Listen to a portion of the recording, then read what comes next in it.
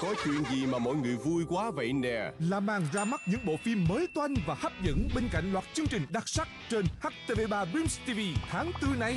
Đầu tiên, hãy cùng sẵn sàng cho Hôm nay cho những tình huống bất ngờ và oái oăm đến từ siêu quậy Masha. Hãy cùng cô bé heo Peppa tận hưởng niềm vui nhỏ bé là chơi trên vũng bùn. Sát cánh với những chiến binh Viking của vùng đất luyện rồng trên hành trình chinh phục những loài rồng hung hãn. Mình không chắc đó là Còn bây giờ, hãy chào đón hai bộ phim mới vào lúc 18 giờ và 19 giờ của khung giờ phim truyền hình. Là câu chuyện tình lãng mạn và nên thơ trong trọng lực cầu vòng là tấm lòng cao cả của người bố dành cho những cô con gái trong cha là trụ cột. Cuối cùng đừng bỏ qua những giây phút thư giãn Mùa gì kinh khủng quá vậy. Cùng sự hóm tĩnh đáng yêu của cô bé Chadu. Vậy thì mình sẽ làm thêm một lần nữa nha. Không chịu đâu sẽ chia khoảnh khắc. Cả nhà cùng vui. HTV3 Dreams TV